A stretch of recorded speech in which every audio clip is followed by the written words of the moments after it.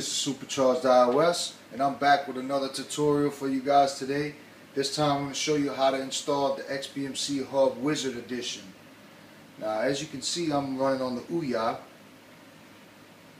So I'll go ahead and launch my XBMC on Ouya.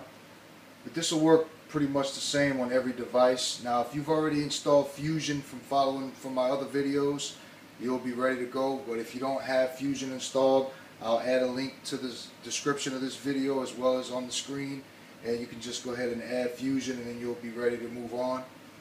Alright, so if you already have Fusion or once you get it installed, go over to System, Settings, Add-ons. You want to go to Install from Zip and whatever you saved your Fusion sources under, I saved mine under Super Add-ons. If you just type Fusion, it'll just say Fusion and you go into your fusion sources and you want to scroll down to right there hub wizard select that one.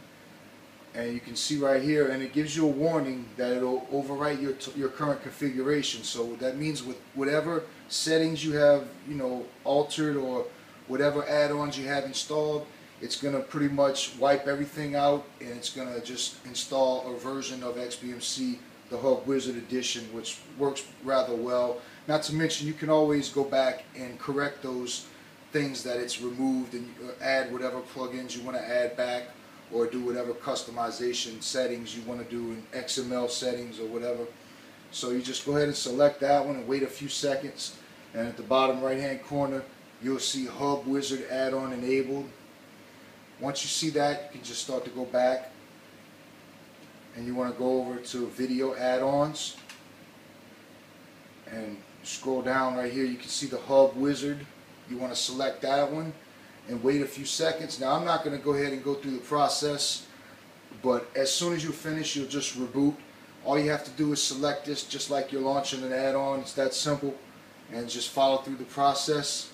And it doesn't take any more than about a minute to get it going. After that you just restart your device when it's finished and the Hub Wizard Edition will be installed Alright, this is Supercharged iOS. This was just a quick video showing you guys how to install the XBMC Hub Wizard Edition. I hope you guys thought this video was pretty helpful. I'll see you in the next one. Peace.